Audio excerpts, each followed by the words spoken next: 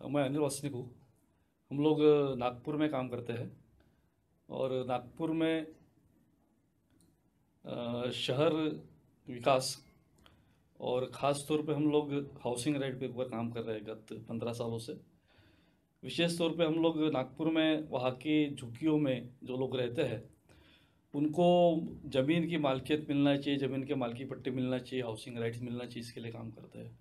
और साथ में ही शहर में विकास का भी काम हो लेकिन उस विकास की प्रक्रिया में शहर का जो आम आदमी है गरीब आदमी है उसका सहभाग रहे और कोई भी विकास हो बड़े शहर के संदर्भ में तो उस विकास का जो रीढ़ की हड्डी होती है वो गरीब मजदूर होता है और उसकी विकास प्रक्रिया में भागीदारी सुनिश्चित करने का हम लोग करते हैं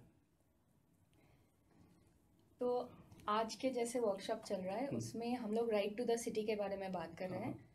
तो सवाल ये है कि आपके आ, मतलब आप राइट टू द सिटी का मतलब क्या समझते हैं?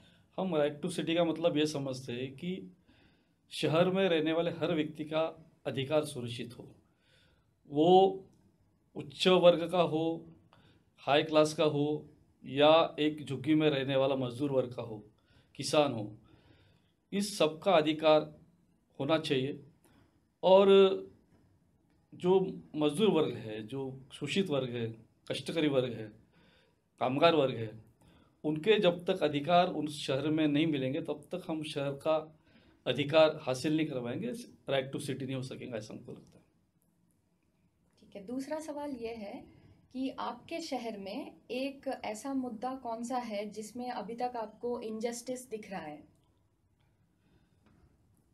हमारे शहर में विकास की प्रक्रिया तो बहुत गति से चल रही है, नागपुर शहर में।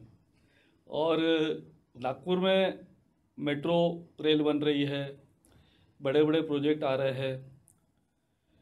लेकिन उस प्रोजेक्ट के कारण यदि उसका लाभ सामान्य जनता को नहीं मिलेगा तो उससे वो वंचित होगा।